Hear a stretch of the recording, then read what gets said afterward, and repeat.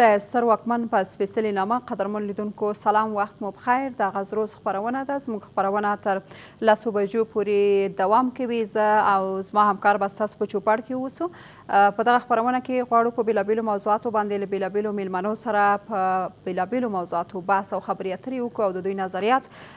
هم له ځان سره ولرو په افغانستان کې په کرونا د اخته کسانو شمیر 11813 ته لوړ شوی دی. د عامې روغتیا وزارت وایي، په تېرو څلېرویشتو ساعتونو کې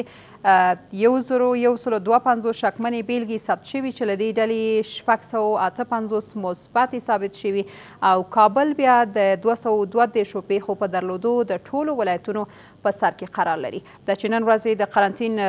موضوع هم تر یوه حده پورې حلېږي او دولتي ادارې هم پر خپل کار باندې پیل کوي، په همدغو موضوعاتو باندې په ټوله کې غواړو بحث وکړو، اما مخکې د هغې نه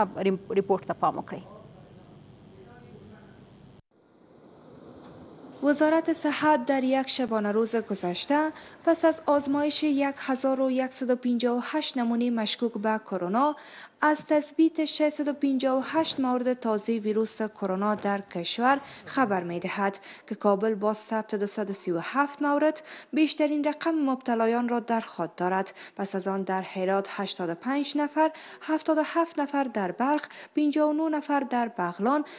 52 نفر در بادغیس 52 نفر در فراه 29 نفر در فاریاب 27 نفر در ننگرهار 11 نفر در بامیان 10 نفر در پکتیا 7 هفت نفر در لوگر، شش نفر در کاپیسا، چهار نفر در سرپل و در ولایت های تخار و سمنگان هر کدام یک یک نفر مبتلا به ویروس کرونا شدند که به این ترتیب شمار مجموعی مبتلایان به ویروس کرونا در کشور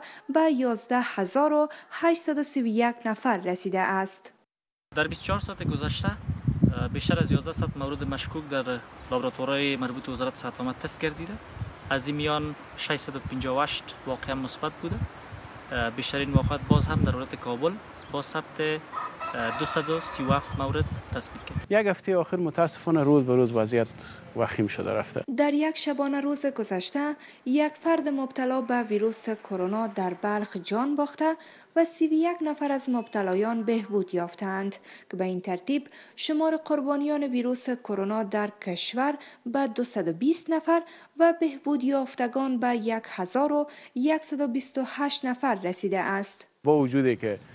نسبت به هفته قبل از ترافیک در شهر کابل کم بود اما ای که رفتن در خانه هم دیگر این احتمال زیر بلند میبرد. وزارت صحت تاکید می کند که تنها راه نجات از بیماری کووید 19 جدی گرفتن توصیه های صحی و ماندن در خانه است. تم کېږو په همدې موضوع باندې بحث کوم سید جان قاضي زاده د داخله امراضو متخصص دا شیبه د ویډیو کانفرنس له لارې له کابل څخه له ما سره واصل دی د دوی نظریات غواړم په دې اړه واخلم تاسو ته ښه راغلاست وایم ډاکټر صاحب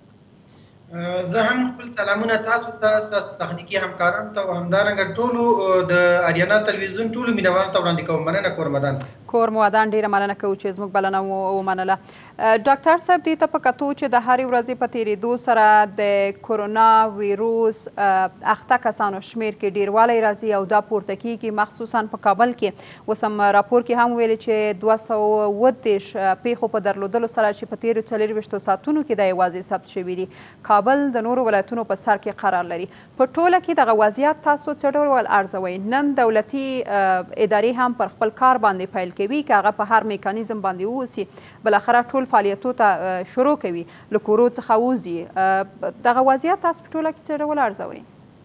البته څنګه چې موږ او تاسو ګورو او د دې شاهد یاستو چې په خبرونو کې هم د دې واقعاتو البته یادونه کېږي چې واقعات البته ورځ تر بلې زیاتېږي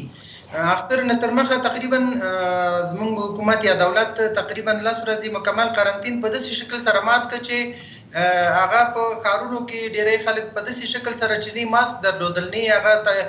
تدابیر چې باید ولته نیول شوي وي هغوی دي داسې صحیح شکل سره ونه نیول شول چې ماسک باید له جبري وي فاصله باید ترمنځ خلکو ترمنځ باید موجوده وي هغه یعنې داسې ونه شو حال دا چې په کابل ښار کې په منډۍ کې او په نور ځایونو کې په موټرونو کې د دې شاهد وو چې مثلا ګڼه ګوڼه ډېره زیاته وه او بیا ورسره څنګ کې چې کله اختر راغی په اختر کې هم مثلا حکم شکل چې دوی ویلي وو چې مکار به مکمل شکل سره مکمل بند به وي سرکونه به بند وي خلکو ته به اجازه نه وي حال دا چې داسې نه وه مکمل خلک کولی شو چې په اسانه سره د یو ځای نه بل ځای ته لاړ شي کورونو ته لاړ شي اختر مبارکیانو ته لاړ شي ما په خپله ولیدل خلکو عادي شکل سره خو یو بل ته غیږې ورکولې یو بل ته مثلا صحیح مثلا هغه د افغاني اعلاناتو په حساب باندې یو بل ته مثلا چاپې ورکولې د اختر مبارکي په شکل سره دا صحیح نه وه البته دا به هغه وخت موږ ته معلومه شي چې یو هفته تیره شي او یو هفته بعد زموږ دغه واقعیات چې اوس یوولس زره اته سوه ته رسیدلي دي او دا به ډیر زیات البته دا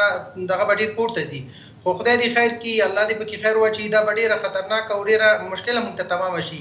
ځکه چې دوی زموږ افغانانو البته دغه شی چې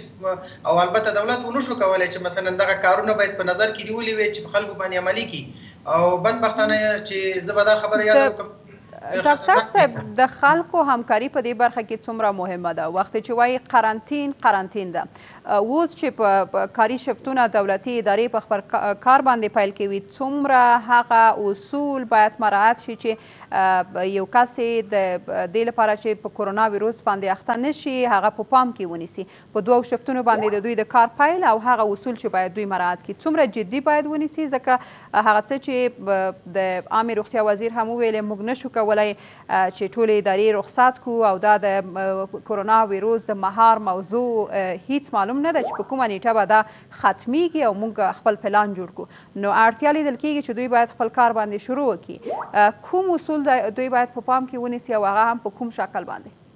ښه خبره دا ده چې دوی البته دولتي ادارې داسې یو میکانیزم جوړ کړي چې په هره اداره کې مثلا که چیرې لس کسان کار کوي نو په درې کسیز ټیم جوړ کړي په هر ګرو هر هر اداره کې مثلا په هر بخش کې مثلا درې درې کسه مثلا یو ورځ یو ټیم راځي یا دوه ورځې یو درې کسیز ټیم راځي درې ورځې دوه ورځې به بل درې کسیز ټیم راځي او په درېیمه ورځ باندې مثلا بل درې کسیز ټیم راځي تعداد کمول ډیر مهم دي چې تعداد باید کم شي، فاصله باید ډېره زیاته مهمه ده چې فاصله باید مراعت شي او د ټولو نه مهمه چې ده هغه د ماسک استفاده ده چې ماسک باید استفاده شي او د ماسک نه باید په دې شکل استفاده شي چې هغه یو برمصرف ماسک چې مثلا کله چې استفاده کېږي کور ته ځي کور څخه تر مخکې رسېدو څخه باید ایسته واچول شي او بله خبره چې ډېره زیاته مهمه ده هغه د لاسونو وینځل دي. په مختلفو وختونو کې باید دوی خپل لاسونه باید ووینځي او مهمه نه ده که ډیټول صابون وي که عادي صابون وي که د کالي انځورو صابون وي په هغې سره باید لاسونه ووینځل شي که چیرې لاسونه په منظم شکل سره ووینځل شي او فاصله مراعات شي او همدارنګه د مامورینو یا د کارمندانو ترمنځ هغه یو تقسیم اوقات داسې یو شکل سره جوړ شي چې دغه خپل پرسونل یعنی تقسیم اوقات په دې شکل سره شي چې که چیرې په یو په یو اداره کې یا په یو ډیپارټمنټ کې د لس کسان وي نو هغه درې کسیز ټیم داسې شکل سره جوړ شي چې په یو اتاق کې یو یا دوه کسه باید اوسي دریم کس یې باید لکه فاصله باید موجوده وي که فاصله موجوده نه وي خدای مکه دغه واقعیات ورځ تر بلې زیاتېږي د حال دا چې مثلا موږ تاسو ګورو چې دا موضوع تر هغه پورې دوام کوي ترڅو چې واکسین راووځي یا دا چې منظمه درملنه ورته صورت ونیسي نو تر هغه پورې د افغانستان دولت یا نور حکومتونه هم نه شي کولای چې دا قرنطین وغځوي، نو فاصله باید مراعت شي او په موټرونو کې تک راتک باید په دې شکل سره شي چې اکثره خلک باید د شخصي موټرو څخه استفاده وکړي او د د ښار د هغو موټرو څخه چې د هغې څخه نور خلک استفاده کوي د هغې نه باید استفاده ونه کړي. ښاغلی قاضي زاده، ځینو سره دا تصور شته چې دغه ویروس په هوا کې خپور شوی وخت چې په فضا کې دا شتون ولري د ماسک او دسکش او هغه نه استفاده څه ګټه لري؟ دا خو لکه څنګه چې په دغه دغه وایرس نوی دی مطالعات پرې روان دي او تر اوسه پورې هغه دقیق معلومات لکه د هغه د اپ ټو ډیټ کوم طبي سایټ چې دی یا طبي پلټنه چې څوک کوي په امریکا کې یا سی ډي سي په نامه کنټرل سنټرل فار ډیزیز کنټرول ان پریونشن په نامه یو اداره ده چې هغه د دغه ناروغیو په اړه البته تحقیقات کوي هغوی تر اوسه په دې البته دا یعنی شواهد مختلف دي بعضی وخت وایي چې مثلا دا وایرس په هوا کې پاتې کیږي خو اکثره داسې ویل کیږي چې دغه وایرس په هوا کې نه پاتې کیږي دروندوالی لري او اکثره په ځمکو باندې وي که چیرې مثلا یو نفر په یو ځای کې ناروغ موجود وي او هغه ټوخی او پرنجی هم کوي نو د ډیر وخت لپاره دا نه پاتې کیږي که حتی دوه متره فاصله هم موجوده وي دا وایرس بل چاته نه انتقالیږي خو ښه لاره دا ده چې مونږ ماسک استفاده کړو د دستکشو څخه استفاده وکړو که دستکشې نه استفاده کوو ښه لاره دا ده چې لاسونه باید مونږ ووینځو او لاسونه باید همیشه مثلا په صابون سره ووینځو په شامپو سره ووینځو. نو داسې اهتمامات یعنې امکانات ډېر کم دي چې هغه وایرس د ځمکې څخه راجګ شي او بیا موږ ته البته په سترګو راوالوزي یا خولې ته راشي یا دغه یي ځکه چې د هغې وزن زیات دی او دروند دی هغه وایرس. پس مستقیم له یو شخص څخه بل شخص ته انتقالیږي؟ هو د ټوخي او پرنجي په وخت کې چې څوک مثلا ناروغ وي او که روغ وي باید د ټوخي او پرنجي په وخت کې باید خپل څنګل خولې ته ونیسي او ټوخی او پرنجی وکړي او کوشش باید وکړي که دوی ناروغ وي که روغ وي البته د کله چې یو ساحې ته ځي چې هلته ګڼه ګوڼه وي باید ماسک ولري او کوم مکتبونو ته او کورسونو ته البته اوس خو رخصت دي که چیرې ضروریات پیدا کیږي د هغې لپاره باید هم میکانیزم موجود وي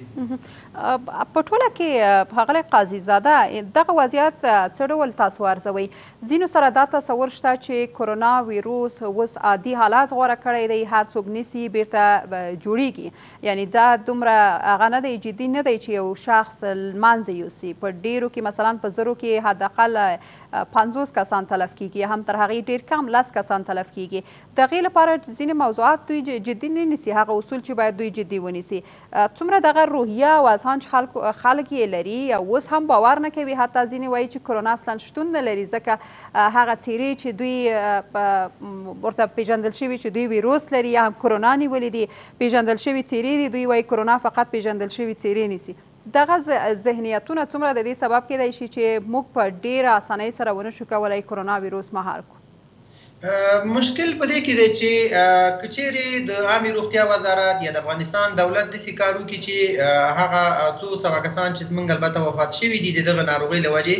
او یا دا چې درې لکه او پنځوس زره او څه شاوخوا مثلا دومره کسان په نړۍ کې وفات شوي دي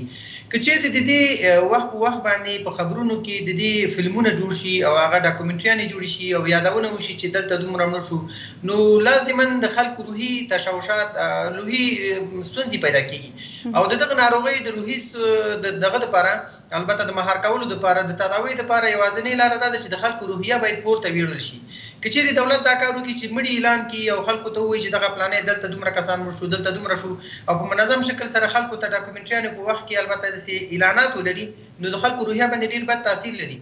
زه خلکو ته دا توصیه لرم که چیرې دوی دغه ناروغۍ باندې یقین نه لري دوی دې راشي د افغان جاپان شفاخانې مخې ته دې ودریږي او یا دا چې کم از کم دغه انټرنیټ دیواس کې چې دوی وګوري چې مثلا درې لکه او پنځوس زره شاوخوا په نړۍ کې مړینه لري او که چیرې دوی راشي او د افغان جاپان شفاخانې خوا ته ودریږي چې څومره مثلا دلته د دې ځینې مثلا مړي وړل کیږي او څومره مثلا خلک مړه کیږي نو هغه وخت کې دوی به په دې ناروغۍ باندې یقین وکړي یا هغه کورنۍ چې په دغه ناروغۍ کې مثلا قرباني ورکړې ده لکه بعضی ډاکټر صاحبانو خپل کورنۍ کی مثلا خپله قربانی شوی دی فامیل غړی یی خود قربانی کړی دی ددی نه دوی خبر شی نو دوی ته به معلومه شی چی واقعا د کرونا ناروغی شته او ګواښونکی ده خطرناکه ده خاصتا هغه کسانو ته چی عمرونه یی لوړ دی د شکر ناروغی ولری د ګردو ناروغی ولری د جیګر ناروغی ولری همدارنګه د وینی بعضی سرطانی او دسی ناروغی ولری چی د هغوی معافیت ضعیف وی نو هغوی ته پکار دی چی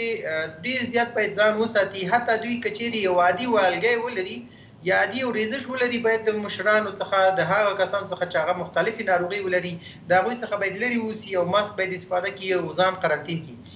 په اکثر کتابونو کی دسی وایی چه که چیری تاسو عادی اوریزش هم ولری د پوزی بندش هم ولری کیدای شی دا ستاسو یو کورونا ناروغی وی نو ځان یو طرف ته کړئ د نورو څخه چه نور مبتلا نه کړئ. ډاکتر صاحب څه ډول باید خلکو ته روحیه ورکړل شي کله چې د عامې روغتیا وزارت لخوا د په کرونا ویروس د اخته کسانو هغه آمار رسنیو سره شریکیږي رسنۍ خبروي دا اکثره خلک د نیوکه کوي چې د خلکو په روحیه باندې دا واقعا اغیز کوي ځینې په نورو ناروغیو باندې اخته شوي دي څه باید وشي؟ سربېره پر دې چې خب د عامې روغتیا وزارت خپله هم وایي چې موږ دومره امکانات نه لرو چې د رسیدګي وکړو، اما د هرې ورځې په تېرېدو سره دا آمار لوړېږي، حتی یولسو زرو ته دا د ورسېد دولس ته نږدې شوې ده. دې ته په کتو څومره خلک پر روحي ناروغۍ باندې هم اخته کېږي، فکر نه کوئ چې که آمار ور نه کړل شي دا هم یوه ستونزه کېدای شي؟ آمار ورکړل شي ستاسو په نظر او که ور نه کړل شي؟ زما په نظر سره خلکو ته یادونه وشي چې مثلا موږ دومره مبتلایان لرو یادونه وشي او دا خلکو په ذهنونو کې ثبت کړل شي چې مثلا د کرونا ناروغۍ شته دا چې نه چې کرونا ناروغۍ نشته او حال دا چې مثلا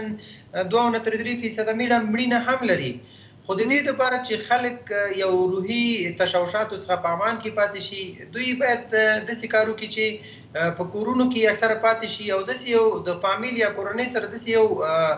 تفریحي پروګرامونه ولري چې مثلاً زیات خبرونو څخه استفاده ونه کړي او خبرونه باید ونه لري او بعضې داسې خپل لمانځو کې باید داسې پروګرامونه ولري خاصتاً په ماشومانو لپاره مثلاً په په کمپیوټرونو کې په موبایلونو کې او په ټابلیټونو کې ګیمونه واچول شي او د کور کې ورته د لوبو وسایل برابر شي او لویانو ته دا پکار دي چې وخت په وخت باندې دوی ډیر زیات دوی په ځان ومني چې کورونا ناروغي شته خو خبرونه ډیر ونه ګوري. که چېرې خبرونه دوی ډېر ګوري او د مړینې کچه ورته معلومېږي چې دومره کسان د دې ناروغۍ د وجې وفات شو، دلته مثلا پلانی وفات شو او دلته دا پلانی وفات شو او دومره کسان د دې ناروغۍ د وجې په نړۍ کې وفات کېږي او ډېره زیاته خطرناکه ناروغۍ ده، ورځ تر بلې د دوی په روحي تشه، روح البته په ارواح باندې تاثیر کوي او بالاخره د دوی معافیت په ضعیف کېدو باندې یا ډېپرېس کېدو باندې ډېر زیات رول لري. او د دغه ناروغي د پاره یوازنی لاره دا ده چې معافیت باید پورته وي، روحیه باید قوي وي، نو انسان انسان کولای شي چې په اسانۍ سره د دې ناروغۍ څخه په امان کې پاتې شي. خو دې د پاره چې وغواړي چې دغه روحي تشوشات ورته پیدا نه شي، خبرونه باید ډېر وانه اوري او د دغه ناروغۍ په اړه البته ډېر زیات پلټنه ونه کړي، او که کله چې هم ورته یو عادي یو ناروغي پیدا کیږي د خپل معالج ډاکټر سره په ارتباط کې شي چې عاجل چې ماته دغسې ناروغي پیدا شوې ده زه څه وکړم ډاکټر صاحب د څه موادونه خوراکي موادونه البته دوی استفاده وکړي کرونا ویروس چې کله چې افغانستان ته راغی او دغه خلک په اخته شول په ویټامین سی باندې ډیر بحثونه ډیر وو اوس ویټامین ډي ته هم اشاره کیږي دلیل په څه کې ده داسې دی چې ډېر ښه ټکي ته تاسو اشاره وکړله. داسې ویل کېږي چې دغه ناروغۍ په هغه کسانو باندې، په هغو وګړو باندې چې د هغوی عمومي معافیت ټیټ وي، ډېر بد تاثیر لري.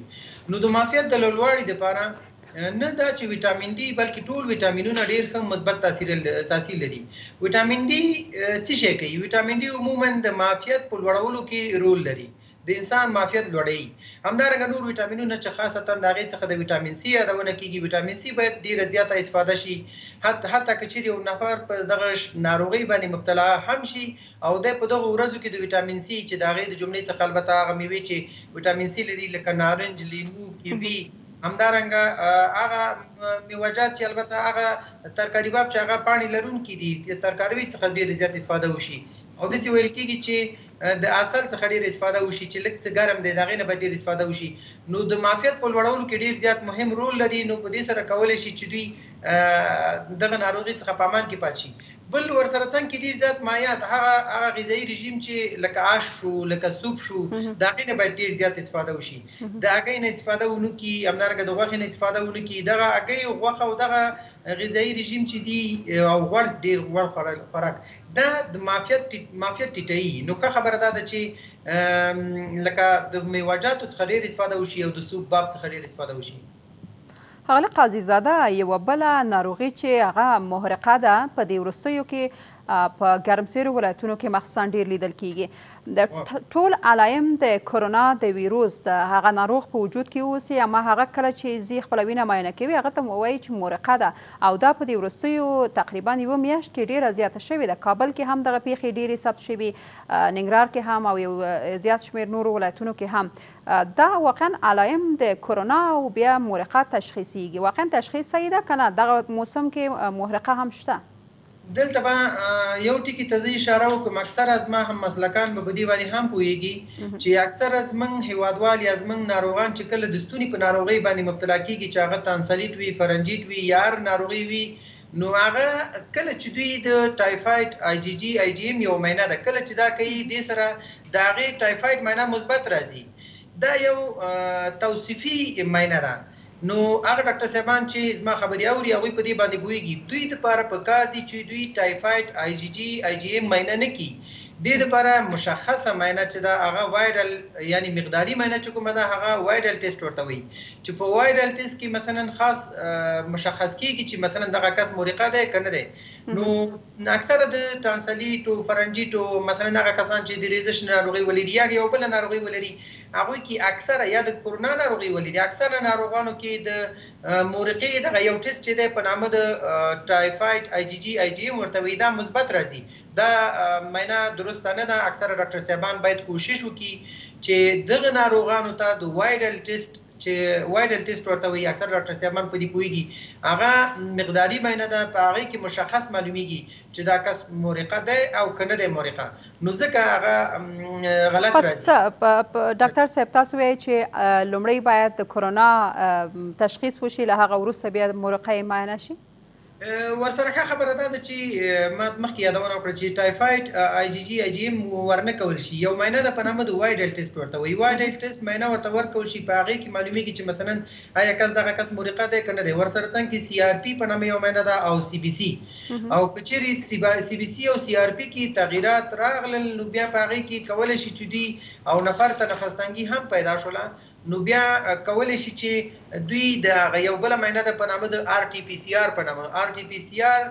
د کورونا مشخصه معاینه ده چې په هغې کې معلومیږي چې آیا شخص د کورونا ناروغي لري که نه لري خو د عامې روغتیا وزارت دا یادونه کوي چې موږ آر ټي پي سي آر ټولو کسانو ته نه شو کولی، هغومره موږ وړتیا، هغومره امکانات موږ نه لرو، صرف هغه کسانو ته چې په کورنۍ کې یو کس د هغوی په کورونا باندې مبتلا شوی دی، هغوی ته موږ کولی شو چې آر ټي پي سي آر وکړو یا د کورونا مشخصه معاینه ورته وکړو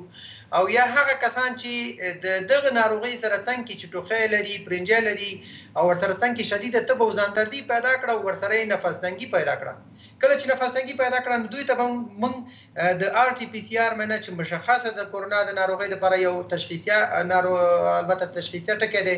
نو هغه موږ ورته کولی شو چې معاینه کړو هر چاته دا معاینه موږ نه کوو ډاکټر صاحب یو بل پښتنه چې دلته ټول البته زموږ همکاران هم په دې برخه کې خپل اندېښنه ښیي په دې باندې ټول پوهیږي چې د کرونا ویروس څنګه چې تاسو هم ورته اشاره وکړه د خولې پزې او سترګو له لارې بل نارو شخص ته انتقالیږي د غوږ له لارې څومره دا امکان لري ځکه خو د خولې او پزې له لارې دوی کولی شي له ماسک څخه هم استفاده وکړي د غوږونو له لارې هم د دې امکان شته چې ویروس انتقال شي له یو ګوشي څخه مثلا درې څلور کسان په همزمان په يو ټايم کې استفاده کوي ايا د دې امکان شته چې ويروس له يو شخص څخه بل شخص ته انتقال شي؟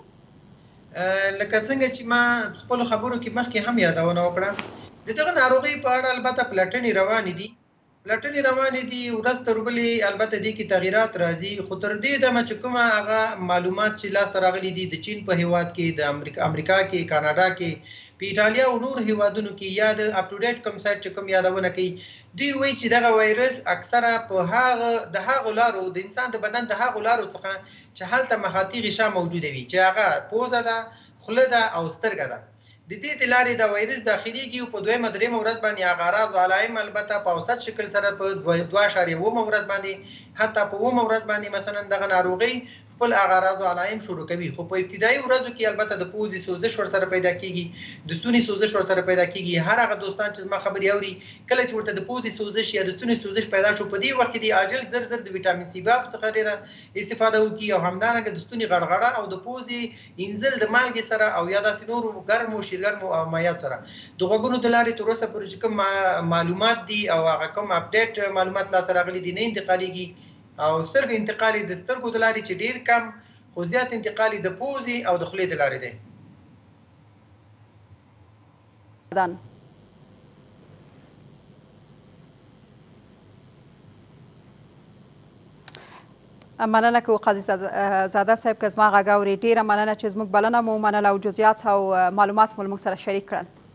مننه ستاسو څخه هم کوره مدان. مننه له تاسو نه. ډاکټر سعید جان قاضي زاده د داخله امراضو متخصص د ویډیو کانفرنس له لارې له کابل څخه له ما سره وصل وو د کرونا ویروس د آمارو د لوړېدو په تړاو یې خپله اندېښنه وښودله او وی ویل چې کچېرې په همدغه شکل باندې دا وضعیت دوام وکړي امکان د دې شته چې د مړینې کچه هم لوړه شي او په کرونا ویروس د اخته کسانو شمیر هم بیا هم دمه نیسو تر لنډی دمی وروسته به په بل موضوع له بل میلمه سره بحث ولرو.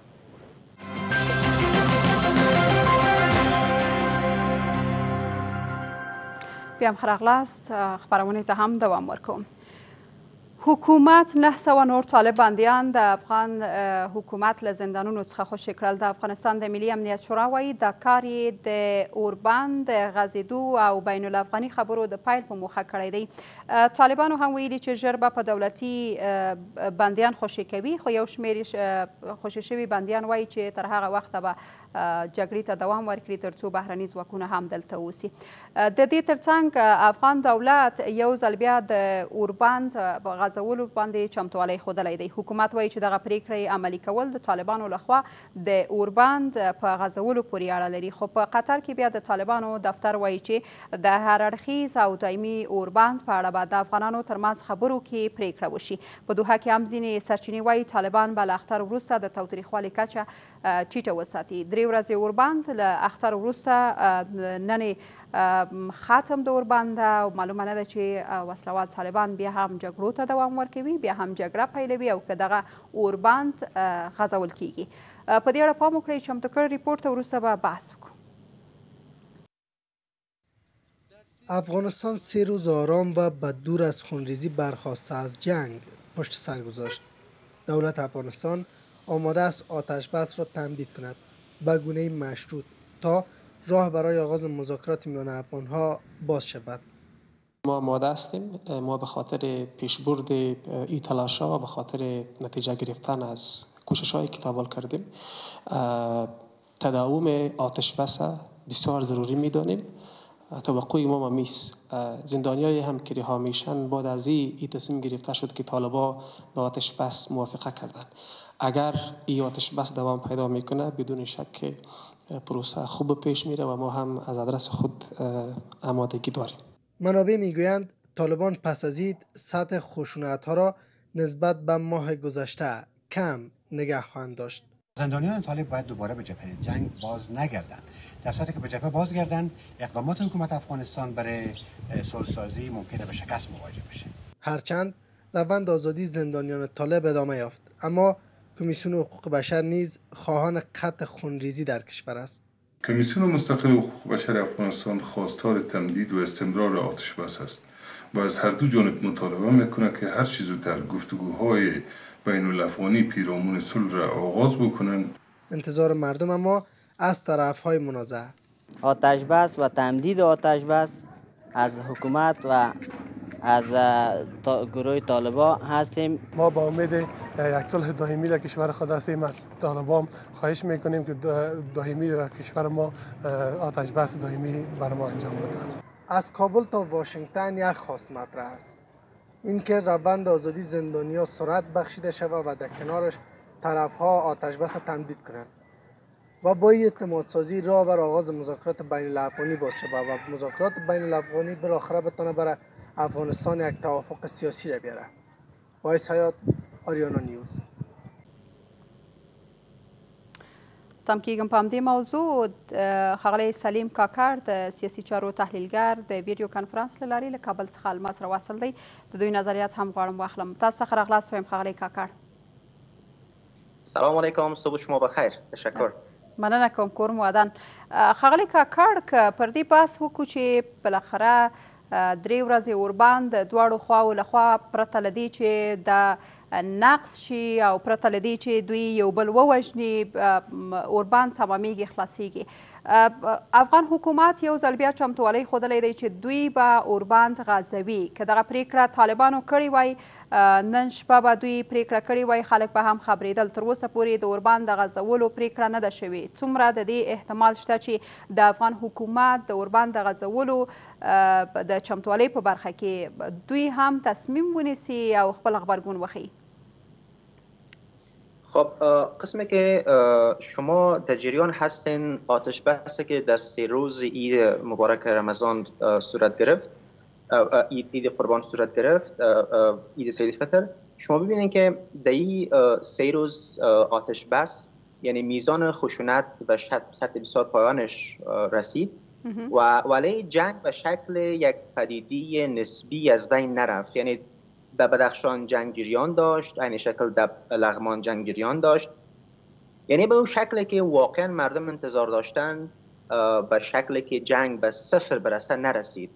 ولی یک فضای امنیت یک فضایی که مردم تانست رفت آمد بکنن با یک سر و سیمای امن این یک فضا حاکم شد اما آنچه که بسیار مهم است در این روند به نظر گرفته شود مسئله ای است که چون ما شما از آغاز پروسه سال تا به امروز اگر متوجه شویم مخصوصا در 29 فوریه وقتی که توافق دوحه به امضا میرسه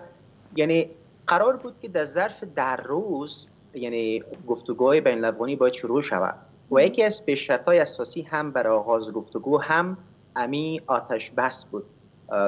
که رهایی زندانیا بود که باید زندانیا رها شود ولی حکومت تا به امروز یعنی در خصوص رهای زندانیا همیشه صد واقع شده یا همیشه بنبست ایجاد کرده شما ببینید که حکومت یک اقدام فوری 900 زندانیا را رها میکنه و ایره به یک نحو به یک نوع جسچر خوب برای آغاز گفتگوها عنوان میکنه اما اگر ما بیاییم گذشته قضیه را ببینیم یعنی در گذشته طالبا حکومت منحیث یک اداری که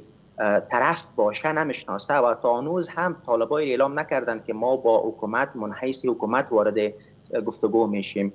گفتن که منحیث یک طرف سیاسی وارد بحث رایشان میشیم پس حکومت هم تلاش میکنه تا با موکول کردن آزاد ساختن زندانیا به شکل بالای طالبا هم فشار وارد بکنه تا که از موقف قبلیشان طالبا هم به گونه پایان بیایند و حکومت منحیث یک جنای سیاسی رسمی بشناسند تا در گفتگوها دخل حکومت هم بتانه که مومنتم در اختیارش باشه و بتانه که درست و با طالبا وارد گفتگو شوم ولی درست است که از آتش بس شما پرسان کردین طالبا بر سه روز آتش بس اعلام کردن و گرچی از تمدیدش تانوز چیز ما سراغ نداریم ولی قسم معلوم میشه که آتش بس ختم است و ولی به معنای این نیست که خشونت ها به شکل سابق دوباره هم شدت پیدا خواهد کرد اما به اون شکلی که در سه روز اید ما آتش بس داشتیم به شکل آتش بس نخواهد بود ښاغلی کاکړ تاسو ویلي چې طالبان د طالب زندانیانو خوشي کول خپله پر طالبانو باندې یو ډول فشار دی دا هغه شرط دی چې په توافقنامې کې هم د وسلوالو طالبانو او امریکا ترمنځ په هغه توافقنامې کې هم دې ته اشاره شوې ده چې تر پنځه زره طالب بندیان باید د زندان څخه خوشي کیږي د نهه سوو طالب زندانیانو خوشي کېدل د افغان حکومت لوړ حسن نیت نه ښیي چې دوی بالاخره د سولې د رامنځته کېدو او مخصوصاً د بین الافغاني خبرو د پیل لپاره کاملاً خپل ژمنتیا یې وښوده. په یو وار یې د نهه سوه طالب زندانیانو خوشې کېدل په خپله د دې ښکارندویي نه کوي چې دوی واقعاً اراده لري چې بین الافغاني خبرې پیل شي.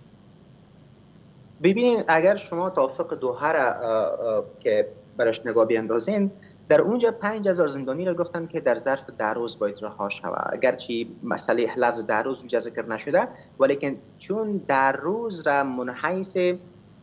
تاریخ آغاز گفتگوها عنوان کردن که در ده مارچ باید گفتگو آغاز میشد یعنی پس اشارهش به این است که در ظرف ده روز باید پنج هزار زندانی طالبا از زندان ها آزاد میشد ولی حکومت ما شاهدش بودیم که آغاز زندانی ها رو از 100 نفر رو یک و نیم صد نفر رو پایی که بالاخره در گام به سابقه 900 نفر زندانی طالب رها میکنم. پس همیش نشان میده که چون حکومت افغانستان هم از دید سیاسی حالتش چندان خوب نبود چون طالبا تا به امروز هم حکومت به شکل یک جناح یا طرف نمیشناسد و بهترین فرصت طلایی بر حکومت مسئله زندانیا بود که فراهم شد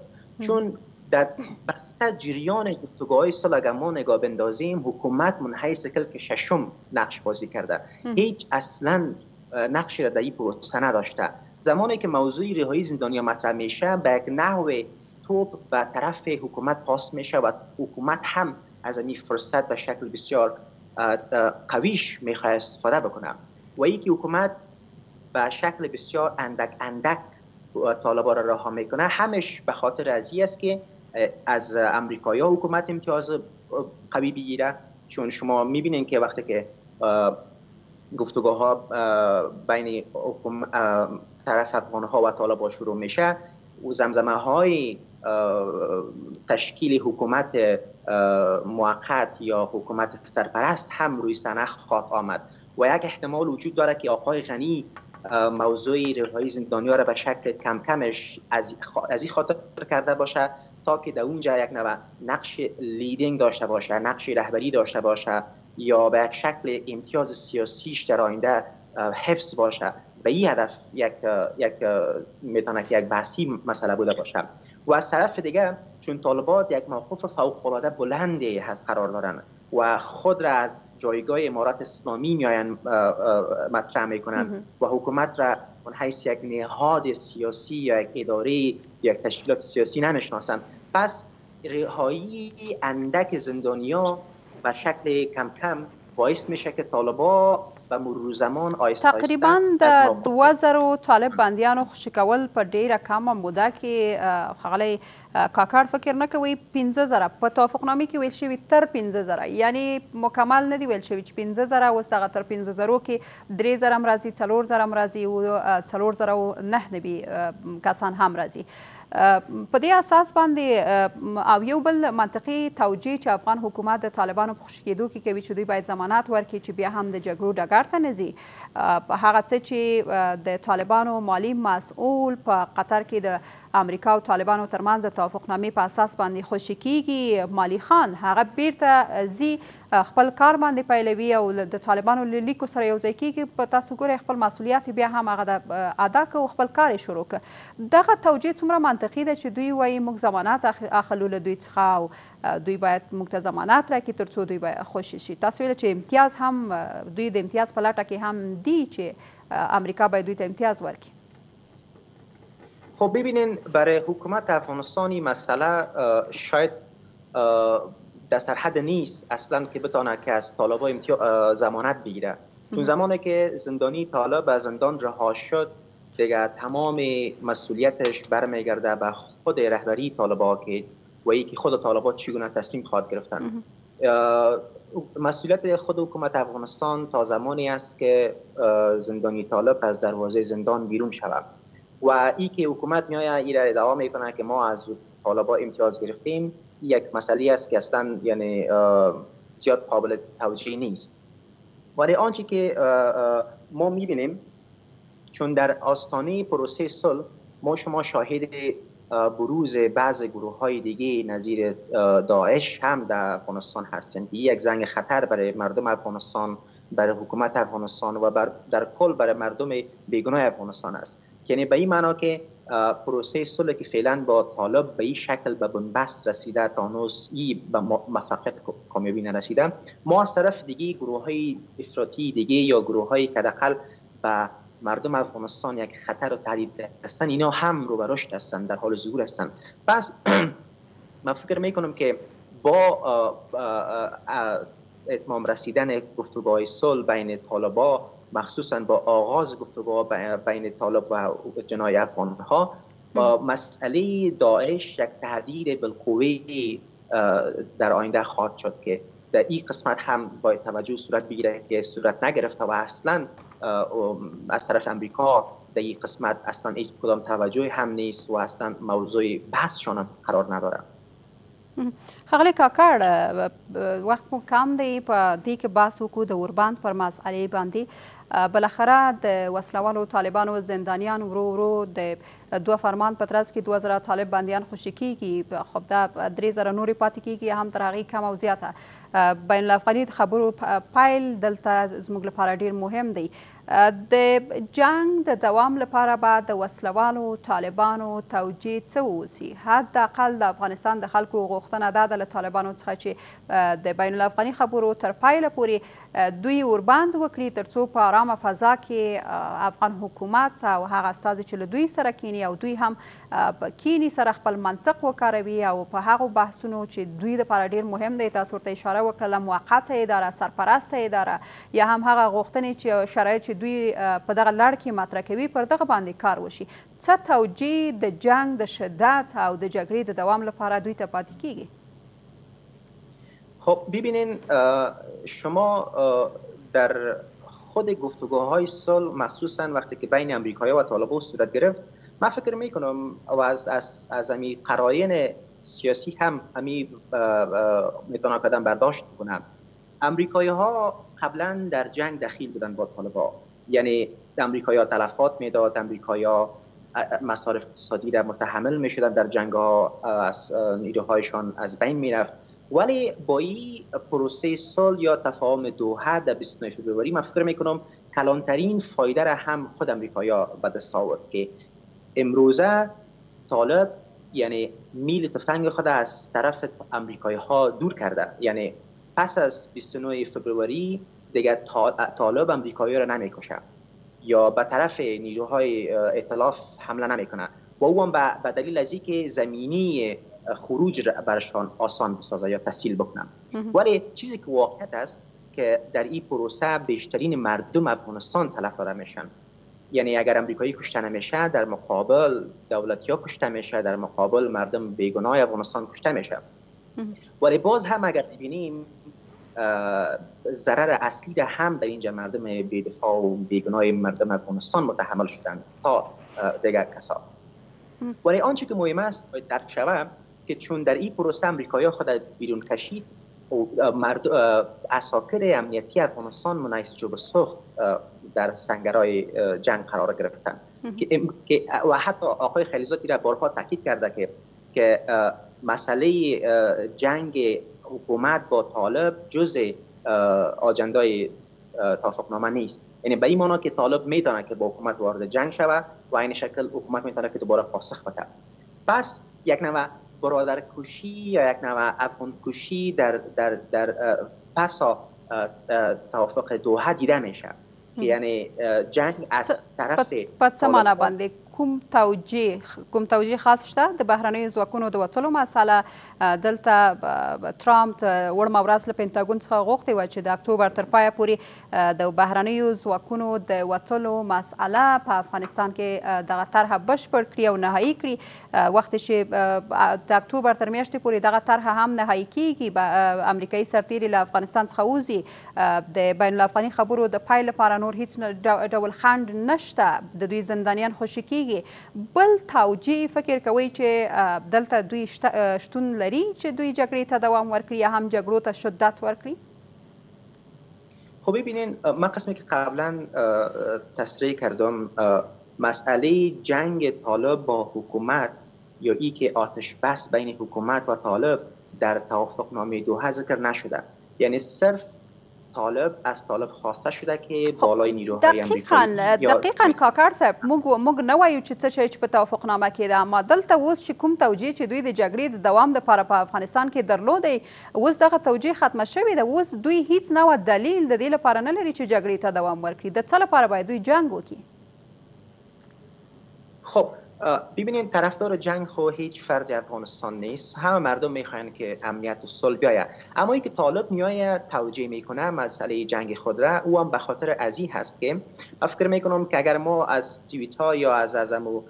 اعلامیه هایی که طالبا نشر میکنند ببینیم طالبا همواره ای حکومت را طرف نمیشناسند و ما هم من هم نیست یک شهروند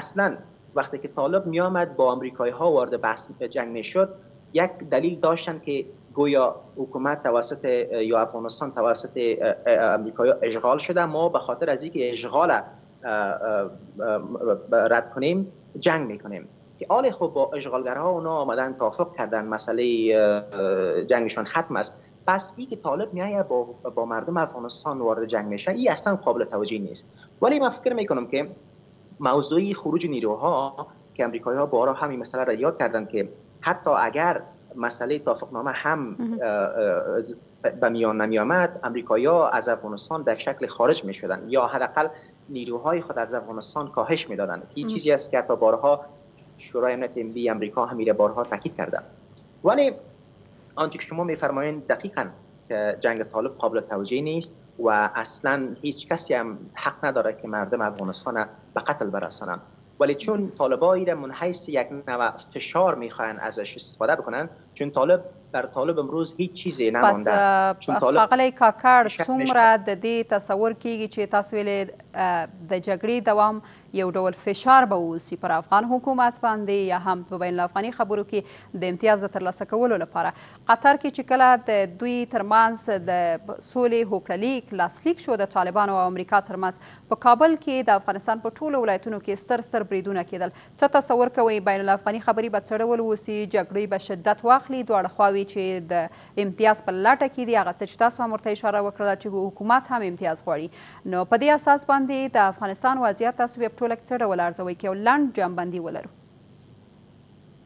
خب اگر ببینیم من اگر خودم خواستم تکمیل بکنم که طالب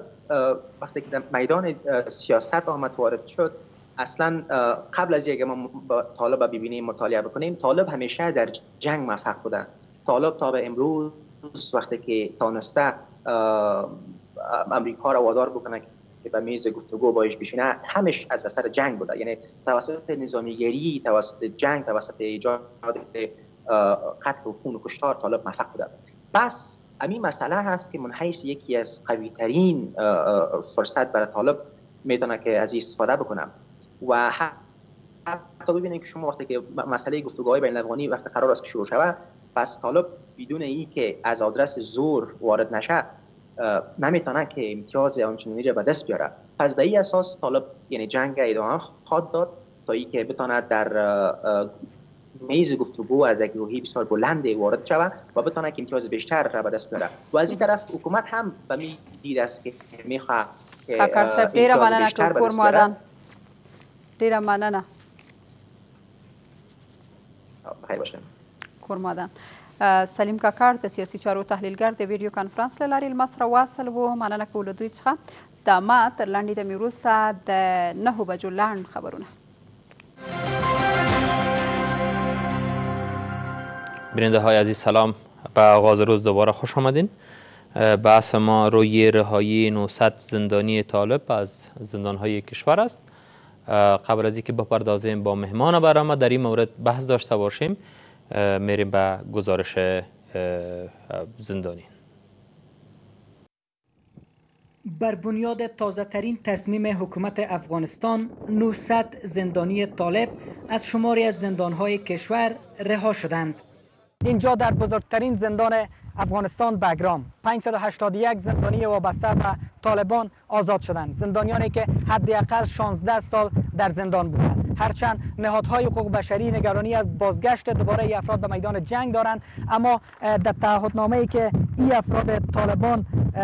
شست گذاشتند تعهد کردند که دوباره به میدان جنگ بر نمیگردند از این افراد که هر کدام بعد از داشتن در طراحی حمله های بزرگ انفجاری و انتحاری بازداشت شدند و قرار است حالا به خانه برگردند پرسیدم که چه تصویر برای زندگی آینده بر سر دارند. کوشش کوو چې د الله پاک قانون پر ټول افغانستان کې جاري شي موږ دغه غواړو. اما محمدالله که چندین سال پیش از ولایت تخار به چنگ نیروهای امنیت ملی افتاده هنوز فکر جنگ بر سر دارد نمیشه که مثال گپ یک وقت ما در محبس بندی بودم دیگه از برایم مثال گپ دیگه دیگه دولت کفار بیا ایجا چی میکنه املا بکنه خط مردم تجاوز بکنه حکومت افغانستان میگوید که این تصمیم را به خاطر دوام آتش بس آغاز گفتگوهای میان افغانی گرفته است و از طالبان هم می خواهد که باید زندانیان وابسته به حکومت را رها بکنند میکانیزمش در فرمان رئیس جمهوری وضاحت داره و هدفم هدف اساسی پیشبرد پروسه صلح است پیشبرد تلاشای صلح است و همچنان اعتماد سازی است و امید بری است که این بس دوام پیدا کنه و گفتگوهای رو در رو و مستقیم با فرصت آغاز شود با این تصمیم شمار کل زندانیان رها شده طالب از سوی حکومت به 2000 تن رسید طالبان هم که تا اکنون حدود 200 زندانی وابسته به حکومت را رها کردند گفتند که روند رهایی زندانیان نیروهای امنیتی را سرعت میبخشند و اکنون روی ترتیب فهرست آنان کار می کنند. برای بحث بیشتر آقای سیرت زدران آگای سیاسی از هالند خاغل زدران صاحب ډیر خراغلی د دغه بندیان خوش کېدا به څومره د سولې په پروسه باندې تاثیر واچي او دا زمینه به برابر کړي چې بین الافغاني خبرې پیل شي سلامونه تاسو ته او د اریانا تلویزیون لیدونکو ته ما د بندیانو په حق له تاسو په تیرو خبرونو کې هم خبرې کړې وي او غواړم چې یو ټینګار او د بندیانو دغه پیچلې موضوع ته یو اړ بیا راوګرځم حسرت صاحب په نړیوالو چارو کې څه وخت چې موږ د بندیانو خوشي کول چارې څارو نو موږ باید د هیک کنونشن او د جنیوا د تړونونو په حق باندې په دې ټکو باندې باید تاکید وکړو چې په کومو معیارونو باندې او په کومو ټکو او په کومو موضوعاتو باندې بندیان کول شو خوشي ما مخکې ویلي که چیرې مونږ په دغه اوسنی د امریکا او د طالبانو تر منځ تړون وڅیړو نو هلته د افغانستان د دولت په هکله هیڅ نه دي ویل شوي حسرت صاحب نو دغه یوه پیچلې موضوع ده که چیرته دغه دغه تړون د طالبانو او د امریکا تر منځ وي نو طالبا امریکا باید بندیان د ګونتانامو نه خوشې کړي نه د بګرام نه په اوسنیو شرایطو کې دغه طالبان چې تاسو په خپلو خپرونو کې یاد کړه دوی چې دی افغانان وژلي دي تر ډېره حده دوی دي افغان په افغانستان په حدودو یا د افغانستان په جغرافیه کې په جنګونه کړي دي او افغانان یې وژلي دي نو دلته د افغانستان د دولت د دولت د حاکمیت تر پوښتنې لاندې راځي زمونږ جغرافیه تر پوښتنې لاندې راځي تړون د امریکا سره کوي وژلي یې افغانان دي خوشي کوي یې افغانان دي افغانستان د دولت سره هیڅ تړون نشته دی حسرت صاحب بښنه غواړم په تړون کې چې د امریکا سره شوی ما ما تقریبا علمي مطالعه کو هلته ډیر ژور موضوعات دي نو دغه موضوعاتو ته د افغانستان د وګړو لپاره او د افغانستان د دولت لپاره هیڅ ذکر شوي نه دي د افغانستان وګړو ته په دې تړون کې چې د امریکا او د طالب ترمنځ شوی دی هیڅ موضوعات نشته چې طالب دې دغه ضمانت ورکړي، هلته یوازې د امریکا او د امریکا د ملګررو هیوادونو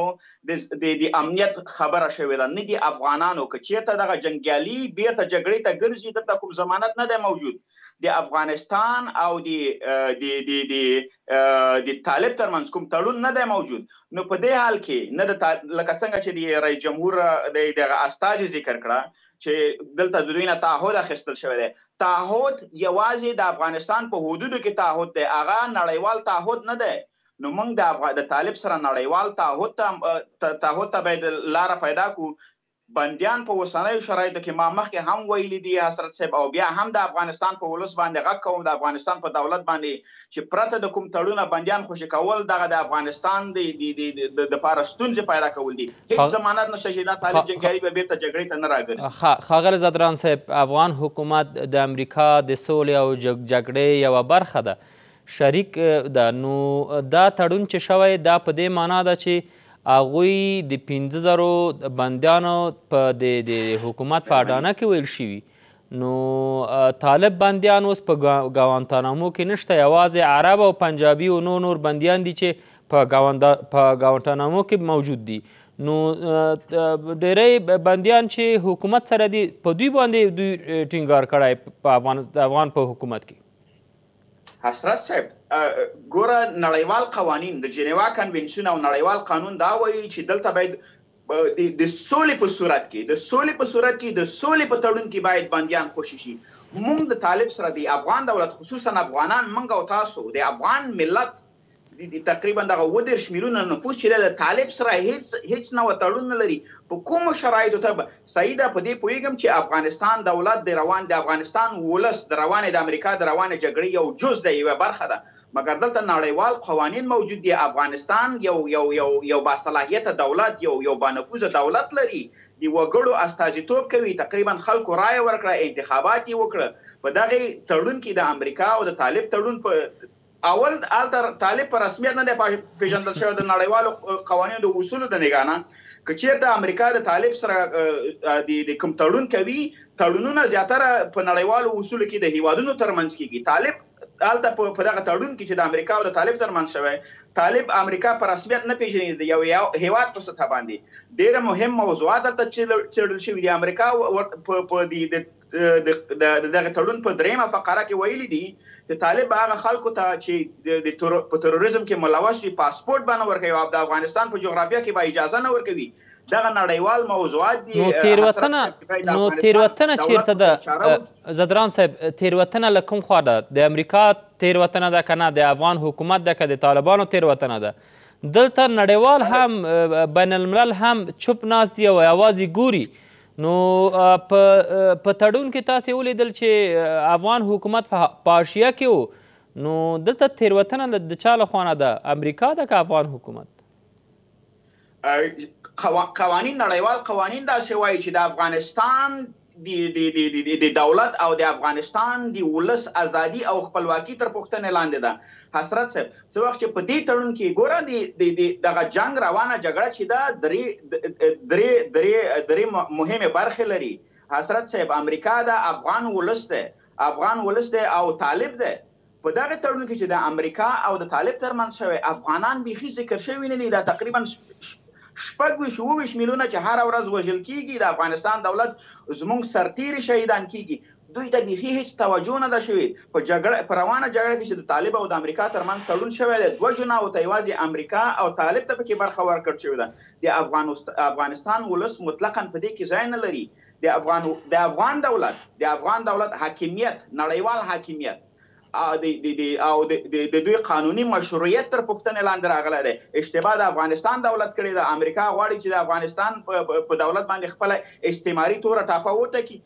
وتپي کوم کوم تړون چې دوی کړی دی هغه به د افغانستان ومني په پټو سترګو باندې بندیان خوشې کول پرته د کوم تړون نه چې د بین الافغاني تړون نه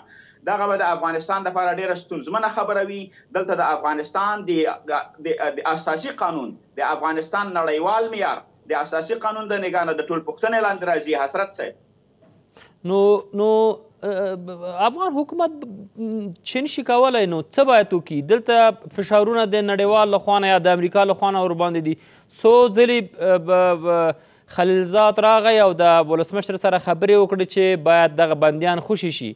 نو اخواته طالبان هم وایي زه افغان حکومت په رسمیت نه پیژنم نو په دغه صورت کې افغان حکومت ته څه پکار و چې باید څه کولای شول ګوره دلته ډیپلوماټیکې اړیکې ډیر مهم رول لري بدبختانه بدبختانه په افغانستان کې په نړیواله سطح باندې موږ زموږ ډیپلوماټیک معیار چې دی ډیر ضعیفه دی موږ او تاسو په خپله دیپلوماتیکې هسته کې داسې څوک نه لرو چې هغه د افغانستان لپاره مشخصې او ټاکلې پالیسیانې رامنځته کړي. څه وخت چې د پالیسیانو خلاوې موجودې وي، موږ او تاسو په نړیواله سطحه باندې نه شو کولای چې نړیوال تشویق کړو چې زموږ ستونزو، مشکلاتو او زموږ کړنلارو ته توجه وکړي، نو زموږ او ستاسو نړیوال معیاري نړیواله معیاري دیپلوماسي حسرت صاحب ډېره ضعیفه ده په اوسنیو شرایطو کې. مونږ علمي، انګېزوي، تشویقي او اکاډمیکي پالیسیانې نه لرو چې نړیوالو ته یې وړاندې کړو. نو په دې خاطر باندې امریکا چې څه د طالب سره فیصله کوي هغه په مونږ تپي. ما بېګاه تېره شپه یوه لیکنه ولوسته چې د امریکا رئیس جمهور ټرمپ ویلي دي چې مونږ باید د انتخاباتو نه مخکې د افغانستان نه خپل ځواکونه راټول کړو. دوی د افغانستان نه په وتو دي. دوی د طالب سره تعهد وکړو. طالب سره چې. طالب نه تعهد واخیستو چې زمونږ او زمونږ ملګري به تاسو هدف نه ګرځوئ، نور د افغانستان ولس تاسو په صلاحیت کې دی چې څه ورسره کوئ، افغانستان شپږ ویشت میلیونه نفوس یا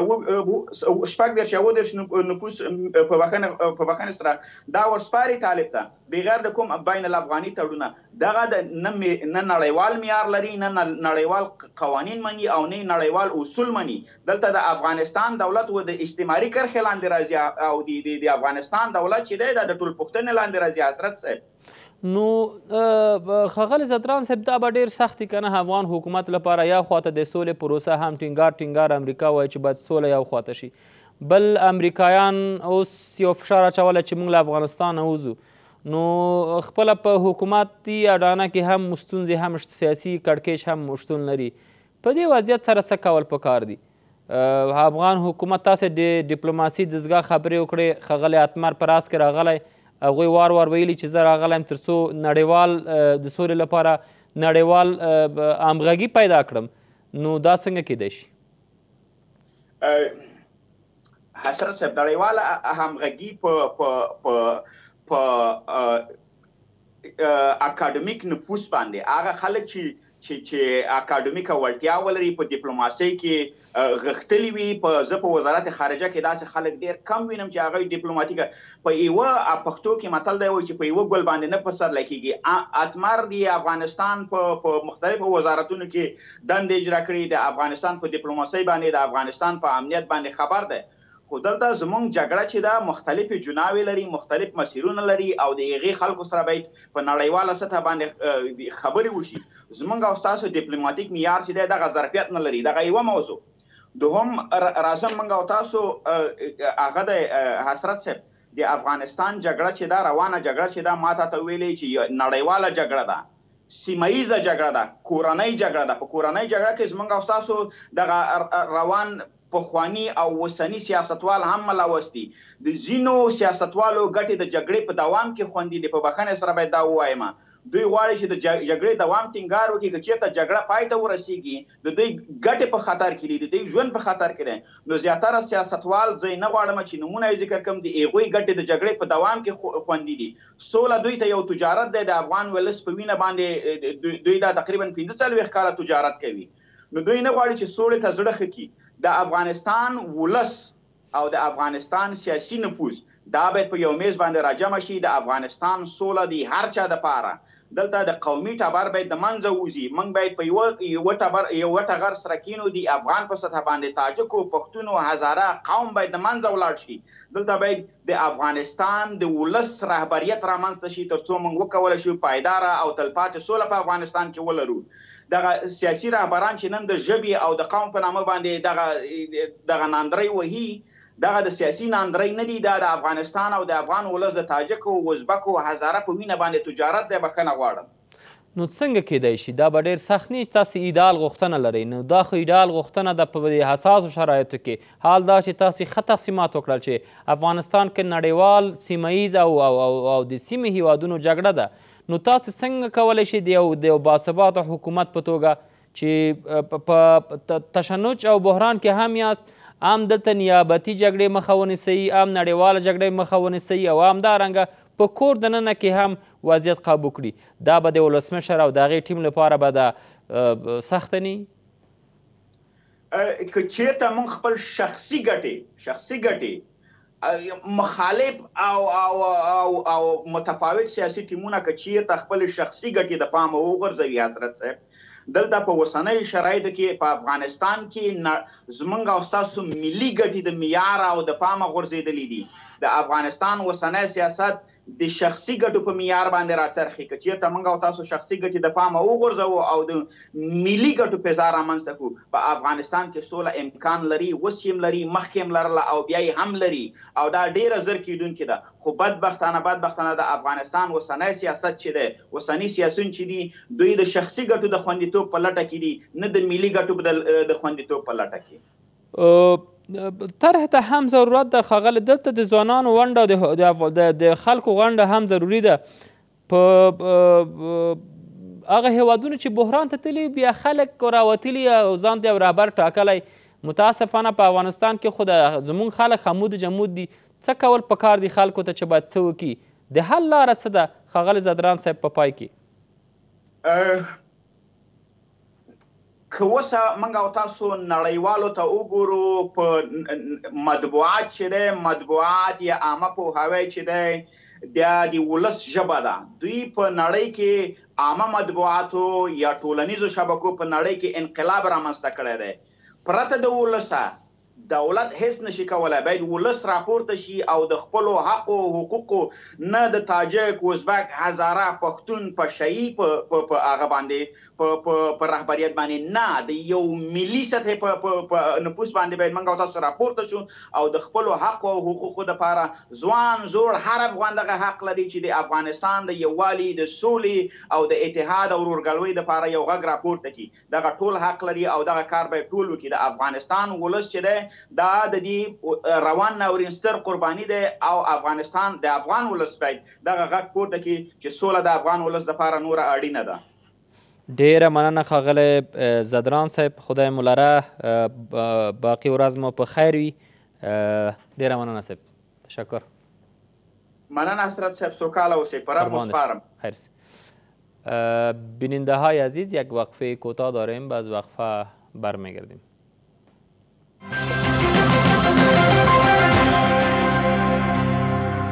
بحث تاثیرات گسترش ویروس کرونا بر وضعیت اقتصاد در کشور آگاهان اقتصادی به باور هستند که گسترش ویروس کرونا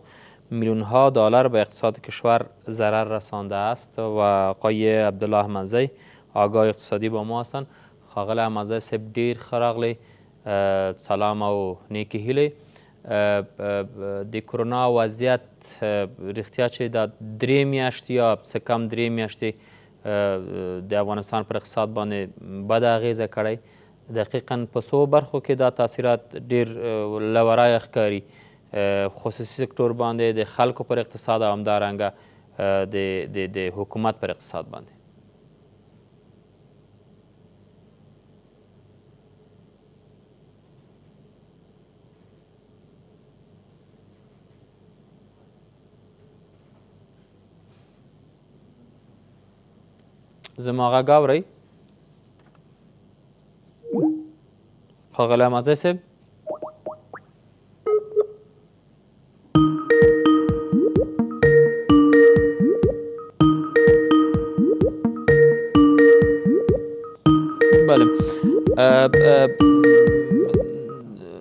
تاثیرات مرض کرونا بر اقتصاد کشور از چند بود میتونه مورد بحث قرار بگیره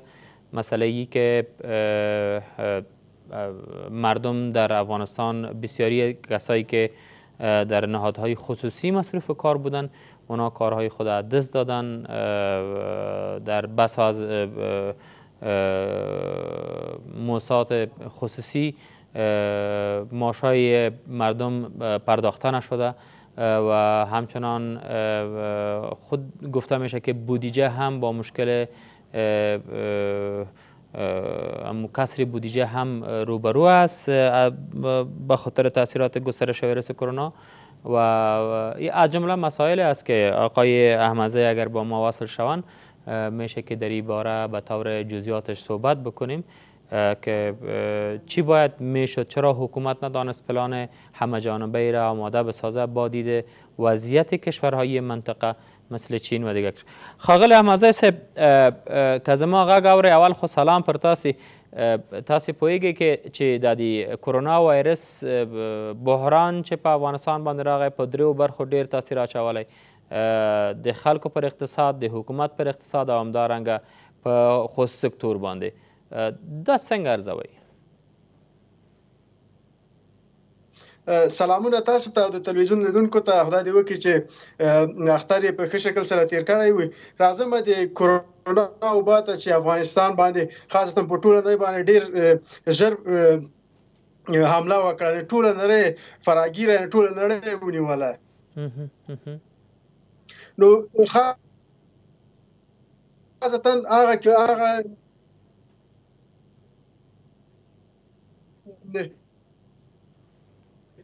هیوادونه لکه امریکا دي ولې د هغه چې مونږ را شو افغانستان اقتصادي وضعیت ته وګورو د افغانستان هغه له بلې خوا نه د مخالفینو یو بل ډول زور ده چې هغه په اقتصاد برخه باندې ډیر تاثیر لري او اوس فعلا چې کورونا وایروس یا کووید 19 په نړۍ کې ټوله نړۍ نیولې ده نو افغانستان هم له دې څخه متاثر شوی ده نو دا څو مهمو ټکو ته به زه راسم چې هغه کوم اقتصادي توان لري چې افغانستان لپاره لري د یوې خوا د نړۍ ټول اقتصادي وضعیت یعنی هغه راکړه ورکړه صادرات او واردات ټول په ټاپه درېدلي دي ځکه که صادرات نو به له شکه موږ د یو بحران کې قرار لرو او دا به همدغه سي غزيږي ځکه دلته هیڅوک توجه نه لري خاصتا دولتي ارګانونه داسې هماهنګي په خپل منځو کې نه لري چې د خلکو مشکلات ته څنګه د پای ټکی کېږدي که چیرته ټول هماهنګ شي سره ټول ځکه مرستې هم دومره په اندازه تا شاید تاسو ته معلوم تر شپږ سوه میلیونو ډالرو پورې دلته مرستې وشولې ولې په همدغو مرستو باندې مونږ کولای شي چې ډیر څه تر سره کړو ولې لا تر اوسه پورې مونږ د د میډیا لارې په د برخه کې د کار کوو یعنی میډیا یو برخه چې خپل کارمندانو ځینی اعلانات برابر کړي دا غي و برخه که مونږ وګورو یعنی چې ډیر تاثیر کړی د پر خلکو باندې ولې دولت لخوا باید د میډیا ترڅنګ دا نور برخې